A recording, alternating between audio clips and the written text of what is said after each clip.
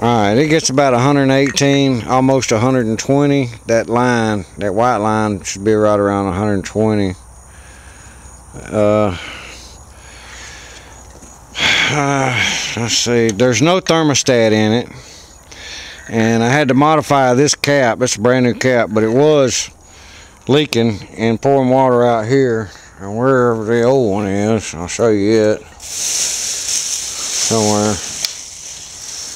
There it is right there.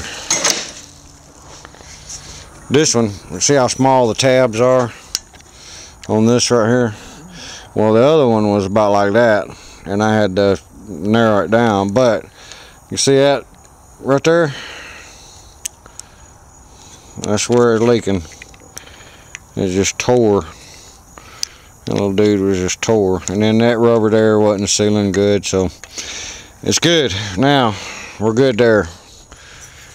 Alright, now let me tell you about this little dude. That'll be another video. Hold on.